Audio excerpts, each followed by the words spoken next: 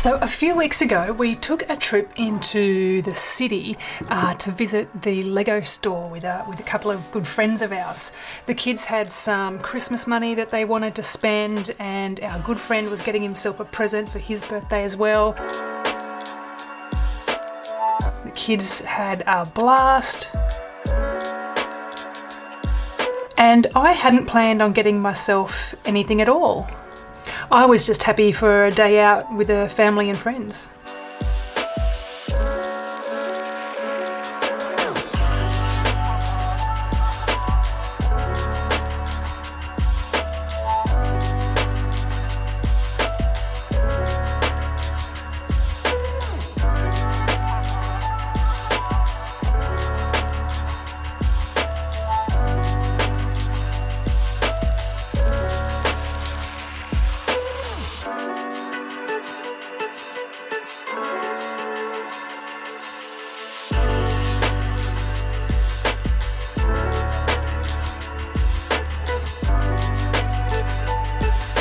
The?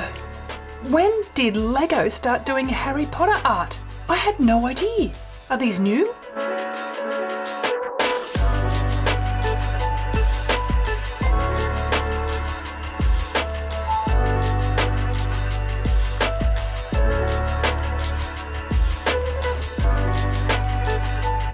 So I hadn't planned on getting anything until I saw these. Harry Potter Lego art you buy one kit, it is 40 by 40 centimetres, and from the one kit, you can choose which house you want to do. So they've got the Gryffindor one, takes up the box, and then you've got your Slytherin, your Hufflepuff, and your Ravenclaw here. And of course, I have to do the Hufflepuff one without a doubt. It has 4,249 pieces. Right, let's open this. So this is our instruction book. so there are the four choices that you can do. I, of course, am going to do the Hufflepuff. I think they look pretty good. So this is like a close-up view of the Gryffindor one. It, you can see that the lion has got some nice shading there around his mane and, and his legs and you can see the, uh, and it has the sort of Gryffindor. And the next one you can see is the Slytherin one. It's got some shading around the snake and it's got the, the Slytherin locket. Uh, the Hufflepuff one. It's got some nice shading as well. And it's got the, the goblet of Helga Hufflepuff and then the Ravenclaw one. I think that looks that looks pretty good as well. And it's got the Ravenclaw's diadem up there in its banner. I think the Gryffindor one is probably the nicest, one of the nicer designs out of the different ones. But can you see how with them all. They so the Gryffindor one has this like gold feature striping. The Slytherin and the Ravenclaw one have the silver striping, but because they've got the gold striping here in the Hufflepuff one, it just totally disappears a bit into into the, the, the, the background colour of the top element, whereas the other ones don't. I wish that they had changed the colour of the the yellow the Hufflepuff yellow should be a, shouldn't be the same colour as the gold stripes. It should be slightly different so that those two blocks don't blend into each other. See how these three, you've got your four different sections and they're quite nicely divided, whereas the Hufflepuff one kind of just merges in. So I might change something there. I'll have to wait and see. It's got like a little summary of the four different houses. It's got an exclusive soundtrack that you can listen to while you build. So you work on one section like this at a time and it's divided and that so they're telling you you're going to work on this section first three rows of three blocks and then I guess they get joined together and framed. So I'm going to flick to the Hufflepuff one. All right. Let's go, Hufflepuff! Okay, so we've got our different colours here of all of our different uh, little studs. Uh, a bit of a toolkit, it looks like with some spares, some spare colours and your the, the little lifter which you can remove some of the studs with if you put them down in the wrong spot. Our frame, the frame components, and this must be our base plates. Okay.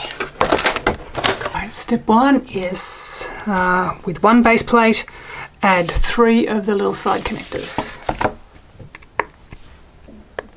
Here is my first section guide. And it is really similar to a diamond painting in with what you are used to. Uh, it has your little your color guide here with your numbers of what studs go on which sections and we can just plug through it. Let's give this a go.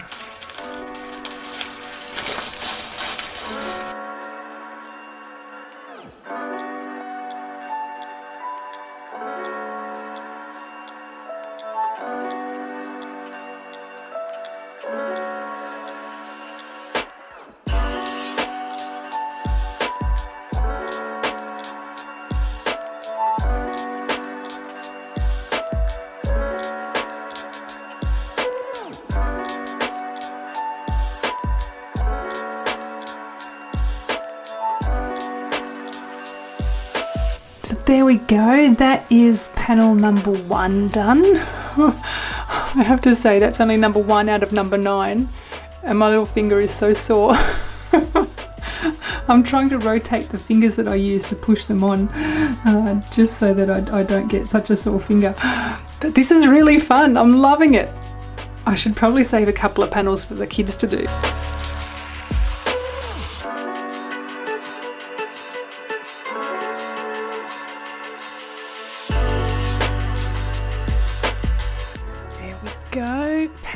Number two is all done.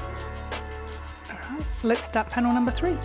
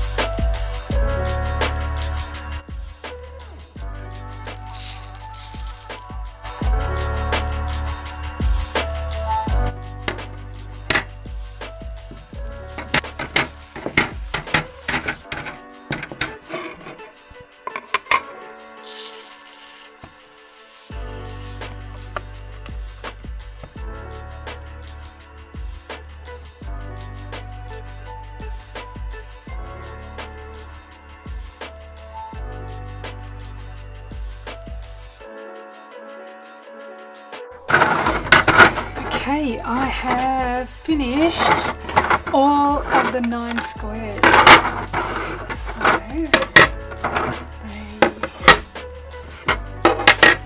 I will just place them out so I can get, get an idea of how they're going to look. Alright, so they're going to be something like that. And then we just get these little guys little pegs, and they go in between to join them up. And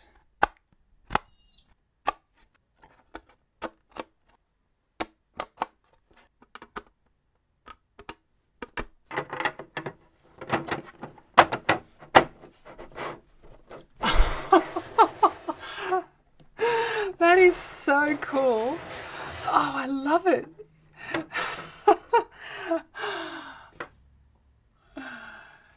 I'm still not entirely sure how I feel about the gold just blending in to the colour above. I could change these stripes down here to silver because I've got heaps of the silver studs left over. But then I feel like maybe it wouldn't be as colourful. Maybe, maybe I could change, take the gold and put the gold here on this side and then make these stripes. So we've got gold, gold, silver, silver. Mm. I will have to have a think about that. All right, what do I do next? All of the outside edges of the blocks. Right, where are they?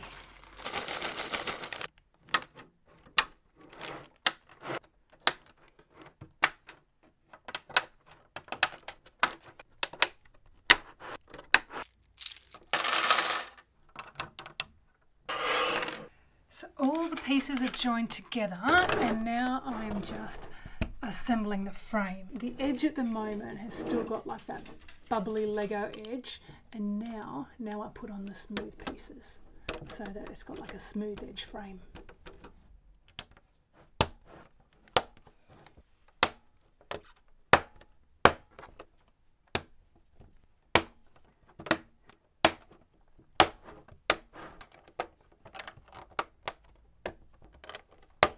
Alright, now it's got two, two frame hanger hooks. Okay, now there's just one thing left to do. Dun dun dun!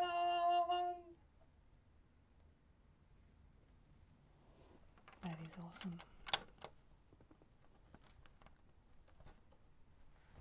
That is so cool. I love it.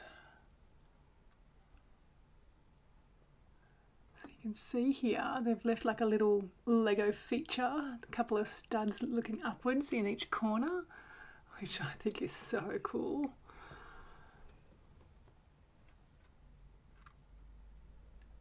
All right, so, okay, people, what does everybody think about the way that the gold here blends into the gold behind the goblet? I think I'm going to swap these out. I've still got a lot of silver left here and I've got them ready. I'm going to swap these out for silver and tell me what you think, okay?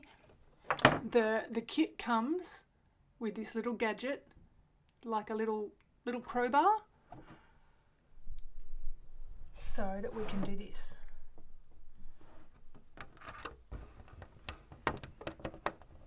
Oh, gosh, it went flying.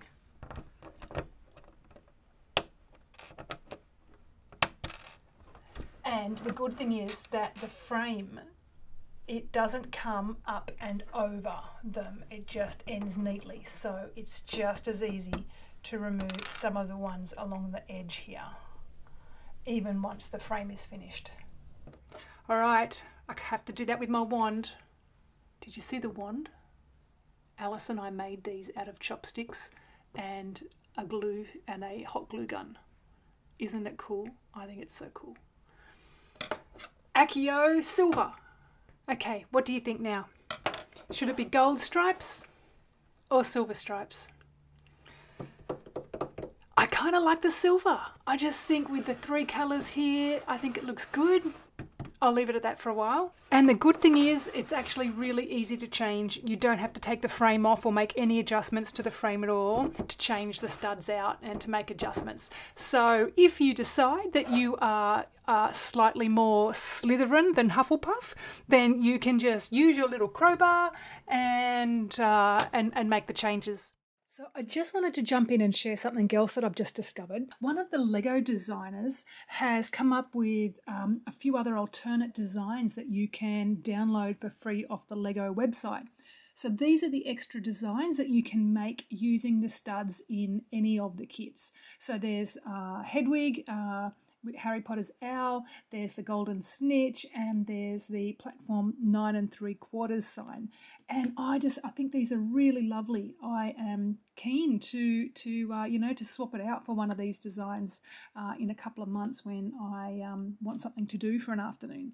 So that's just something else that I thought was really cool. And uh, the other thing that I've just learned is that if you buy four of these kits there is another alternate design that you can do uh, with the studs from all four. So this is the full Hogwarts emblem uh, that you can make by joining four kits together. So you download this pattern off the website as well. And so instead of it being 40 by 40, this is using four kits. And so it is uh, a big 80 by 80 uh, artwork. So that is it for today. Thanks so much for stopping by. I am going to leave my uh, Hufflepuff emblem just here on my uh, display shelves next to my book collection and my little set of Harry Potter Q Posket dolls that I have got here and I think it looks great. It's a fantastic kit. I really love it. Uh, it's um, something that you can do easily just in a couple of hours. It's not a big time kind of consuming um, kind of kit. Uh, it is quite simple and easy to do so that is it for today. Thanks so much for stopping by. If you have any questions at all, write them down in the comments. I read every single one and I will help you out if at all I can. And I will see you next time. Bye.